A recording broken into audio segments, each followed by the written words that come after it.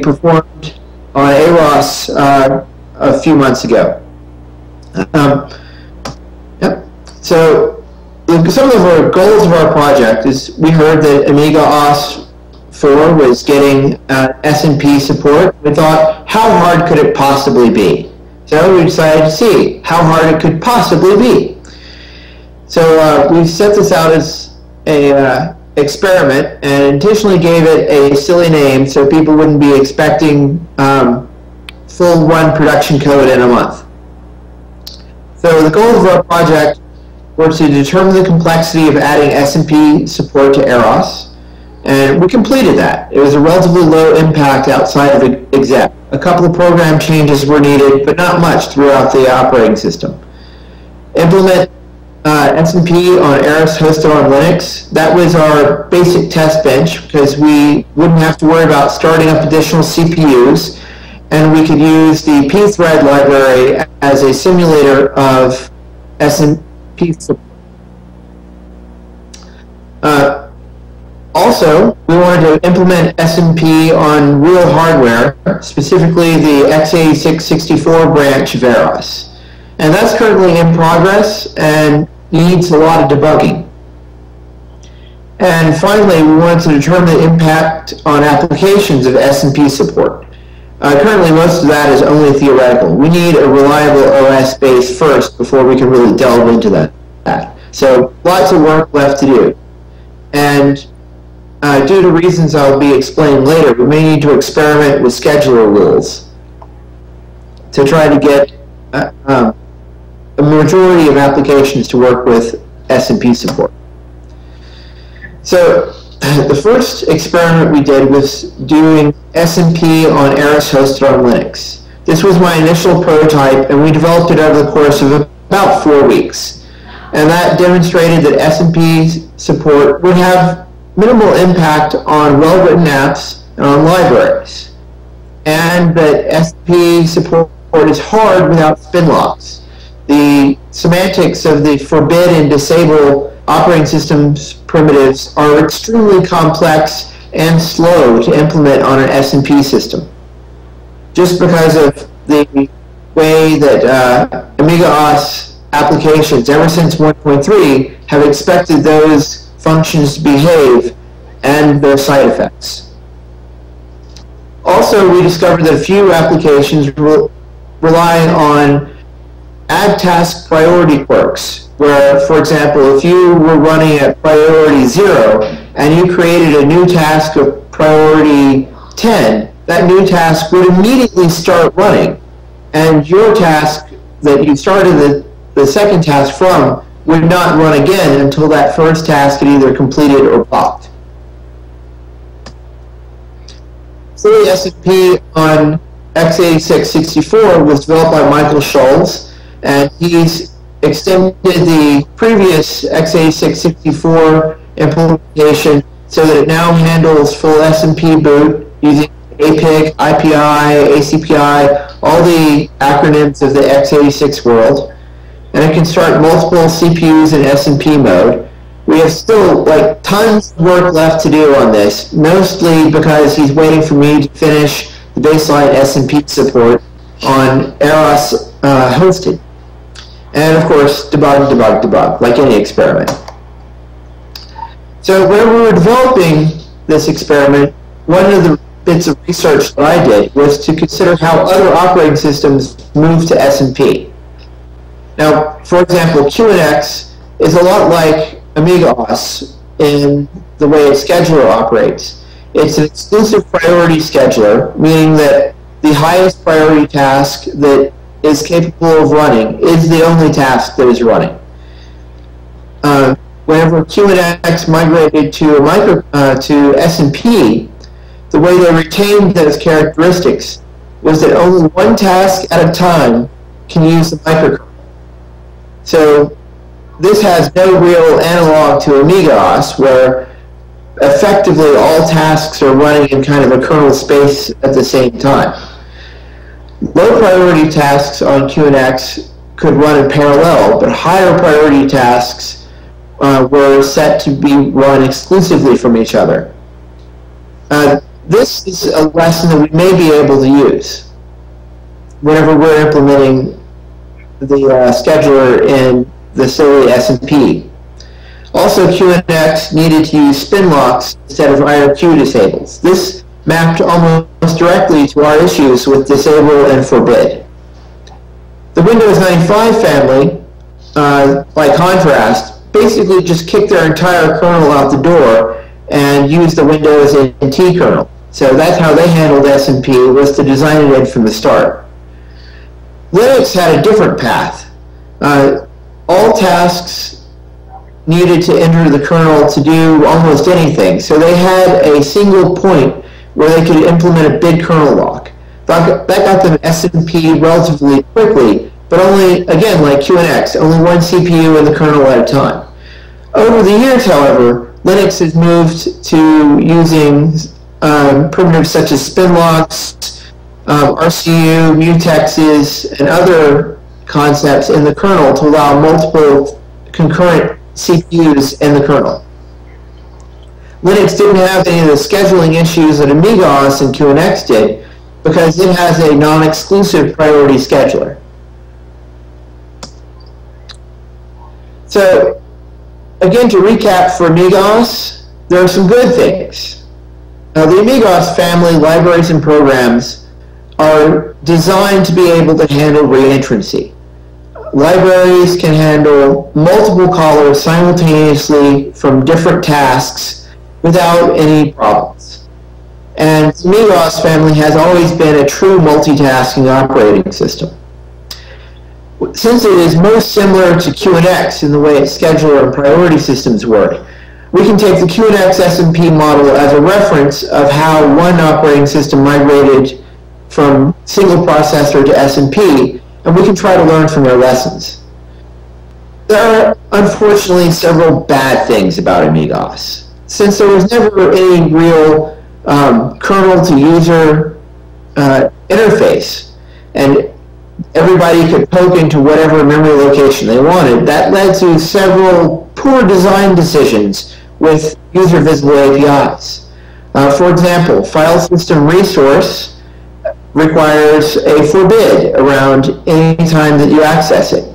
Um, graphics-based default font, um, DOS lists, there are literally tens to maybe hundreds of elements in the AmigaOS kernel that will require uh, careful attention if we want to update those APIs to be able to support SMP without requiring an expensive forbid and disable.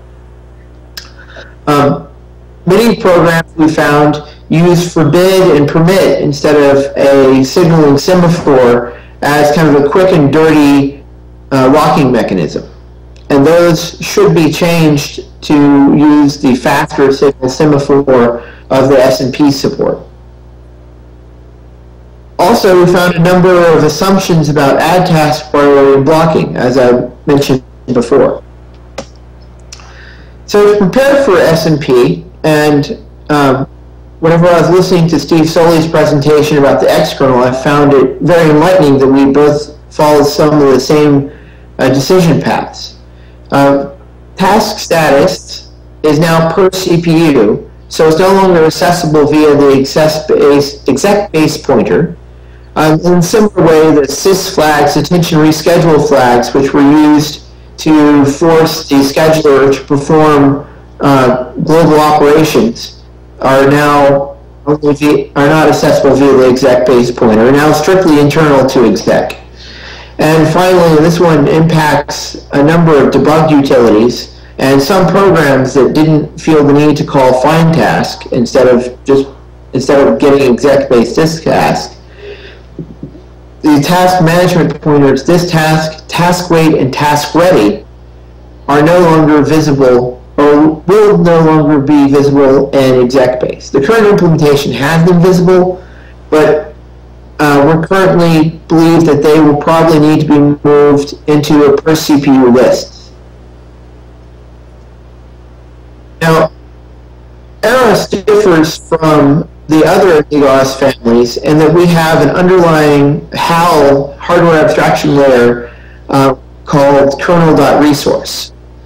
and we had to implement five new APIs in the kernel.resource to be able to handle the basic concepts of SMP.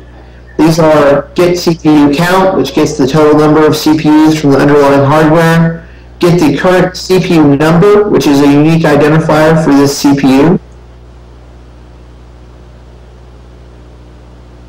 entry point of the uh, other sets the intervals, basically where we get their first task from, and set CPU storage and get CPU storage, where we can have a per CPU pointer that points to the scheduling information for that specific CPU. That's where those uh, lists and status entries that I mentioned on the previous slide live now, is in that per CPU storage area. And uh, let's talk about forbid and disable. Disable under AmigaOS is a routine that stops all interrupt activity and all task switching until the corresponding enable is called later. Um, this, as I said, causes all interrupts to stop. Nothing else can happen other than whatever this task is doing. No task switching may occur. And in an SMP context, following this must stop all work on all of their CPUs.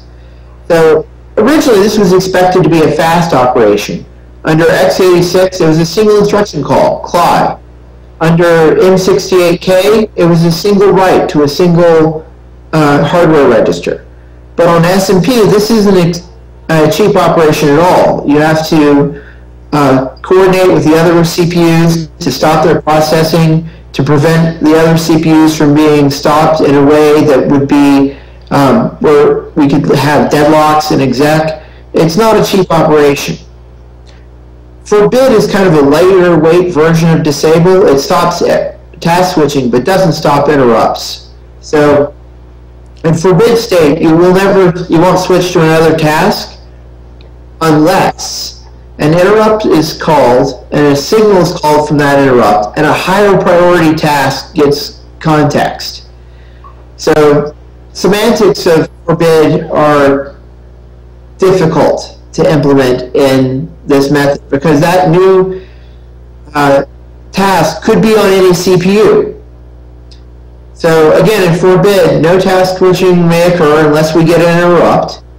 We must again stop work on other CPUs, and the uh, forbid context can be broken by any number of OS calls, like signal or wait, and the forbid context of having the other CPU stopped must be restored whenever control returns to this task. So again, something that was cheap to implement in a uniprocessor that now becomes an expensive, terrible uh, uh, function to use in user space on an SMP system. So, is there a question? Right. All right, everything's kind of garbled. Whoever needs to talk needs to come up front.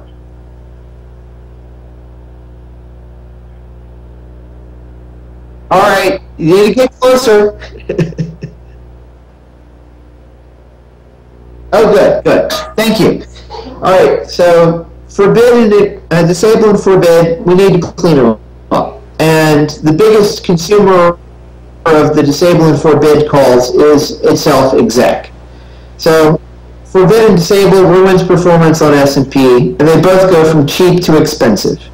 We need to eliminate disable and forbid in exec library, and over 60 functions in exec use disable and forbid in their internals. And we can't replace them with signal and semaphores directly because signal semaphores rely on signal and wait, which again rely on disable. So we get kind of into a catch-22 if we just tried to implement it that way. So what to do? And now we're going to look to QNX for an answer. We're going to use spin locks. Oliver Brunner has added spin lock support to the prototype. They are currently an internal primitive only used in exec. They uh, wait until unlocked without calling forbid. All they do is lower the task priority to negative 128 and just sit there waiting on uh, reading the lock over and over again until that lock is back at um, normal priority, uh, unlocked. And once that is unlocked, that raises its priority to a normal priority and executes the locked section.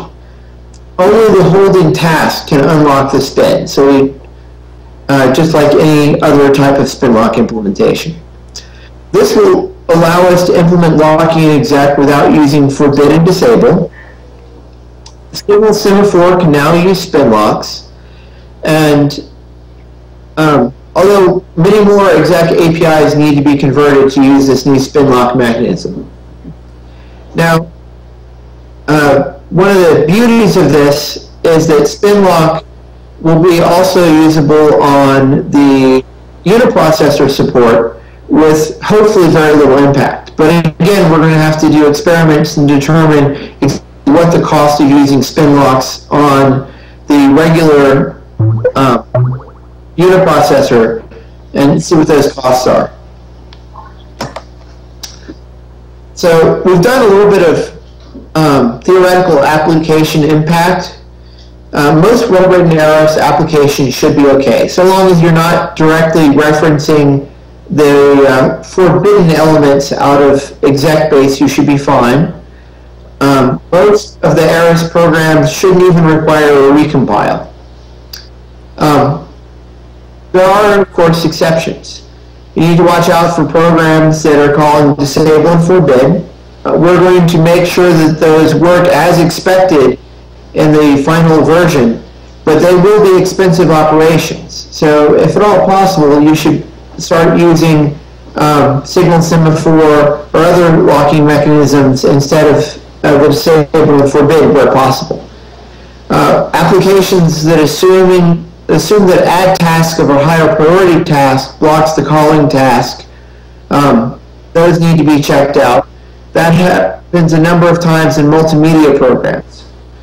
Assuming that add task of something with a priority less than self will not run until we ourselves block, that also needs to be checked. Um, that happens mostly in tasks that are trying to install some sort of uh, low-level cleanup utility, like a memory defragmenter. Those need to be checked to make sure that the task that's going to be added is completely ready to run before add task is called. Um, there's a number of terrible old APIs that require forbidden disable, like DOS list, graphics-based changes. We're probably going to have to consider adding new APIs to uh, handle properly locking those. And again, directly reading this task and some other elements from exec base need to be watched out for.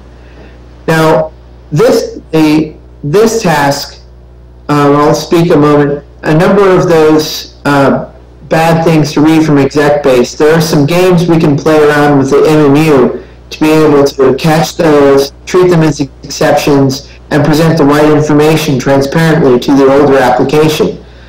Uh, but again, that waits for later once the groundwork has been laid and we've, we're, are happy with the functionality of the baseline SMP support. Uh, we've got some open scheduler concerns. Um, add task and blocking, how often is this really an issue? How many programs does it impact? If it impacts a lot, maybe we could uh, try doing the QNX um, solution in kind of a way, is that we can assign any CPU if the new um, new task priority is the same as ours, or stay on this CPU if the priority is different.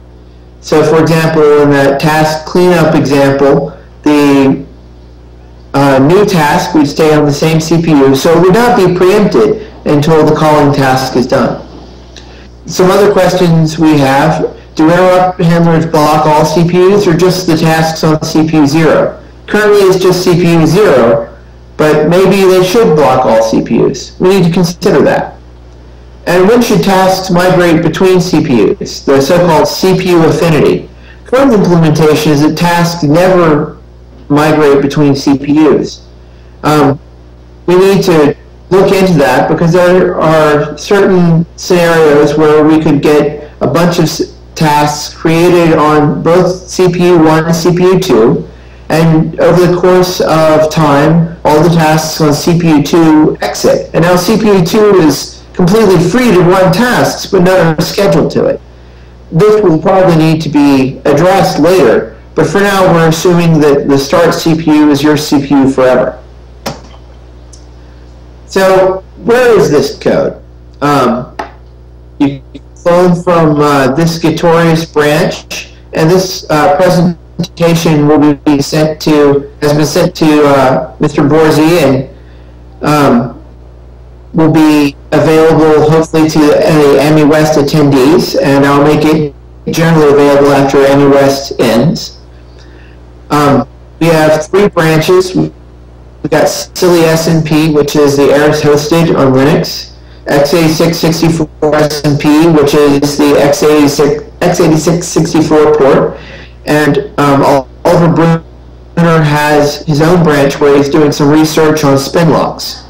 Um, unfortunately, over the past two months, only Oliver Brunner has been active lately. I've been on kind of a release day death march at work.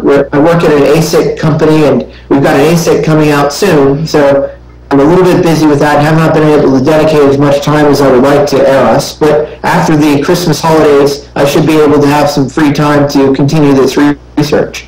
And, and uh, unfortunately, I'm blocking Michael Schulz. He's kind of eagerly chomping at the bit for my completed work. So hopefully, I can get something to him as soon as I can, as soon as possible.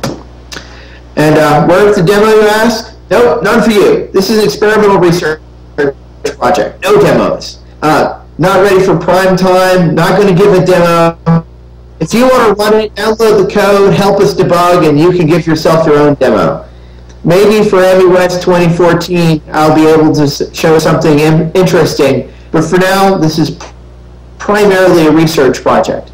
Um, still very buggy. It boots maybe one time out of 10, and we need to work on improved spin lock integration. Lots of work to do, but I see it has promise. Um, it was not the the doom and despair that a lot of people claimed would happen whenever SMP was attempted on AmigaOS. Yeah, there are some issues, but I think they can be worked around. And as uh, AmigaOS 4's X kernel is showing, I think that uh, the same ger general principles are applicable to the entire AmigaOS family of similar operating systems. So in that vein, uh, what does this mean for AROS?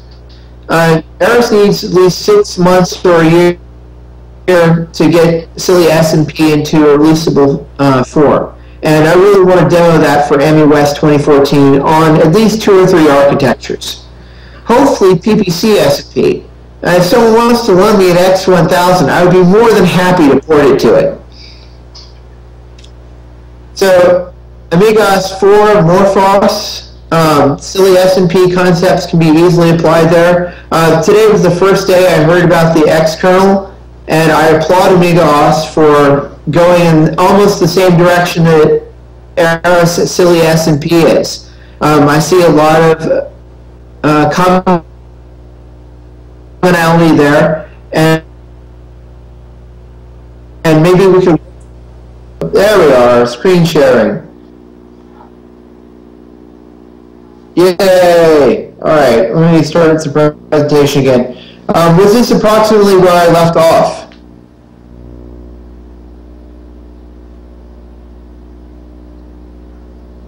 Uh, like, uh, I heard a couple of laughs from the words the demo thing, so, alright, so, yeah, okay, so, Amigos, uh, AROS, hopefully we'll have a demo by 2014. If someone would loan, me, loan us a uh, SMP PowerPC machine, we could probably develop an imp implementation for that too. Uh, Migos 4 and MorphOS. Uh, we would love to share our experiences with those teams, and if there's any uh, commonalities between the operating systems, that would be fantastic. Uh, contact me, or if you don't want to, just look at the sources. And Aorus 3, uh, Migos 3 M68K. If someone can find me an SMP M68K machine, I would be more than happy to port uh, our SMP stuff to it. So to wrap up, thank you for your interest. Um, you can contact us at www.aros.org, and um, these are our email addresses of the primary developers on the Silly SMP project. And, and um, I'll be releasing this presentation for general release, probably on the AROS website uh, after Amiwest is concluded. So at this time, if there's any questions, uh, come up to the mic and uh, give me a give me a question.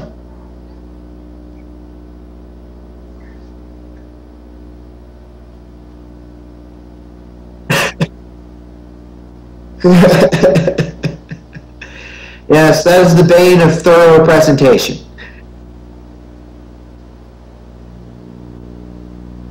All right, you're welcome. And we try to put the research back into AROS Research Operating System.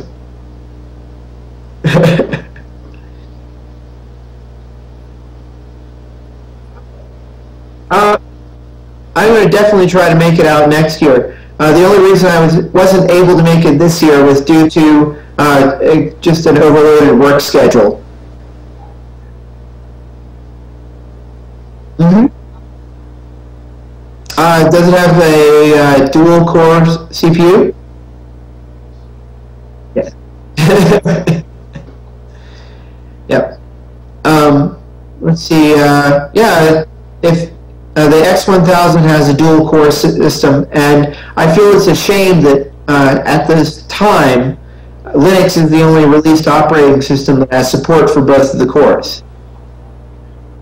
Yep.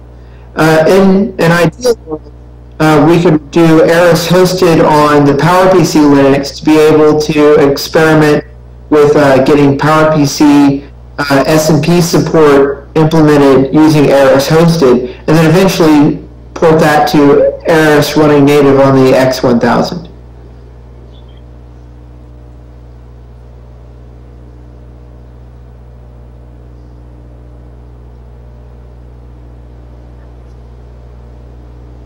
Answer general AROS questions or M68K ones. All right. All right, bye-bye. enjoy my Windows desktop. All right. Have a good Amiwest.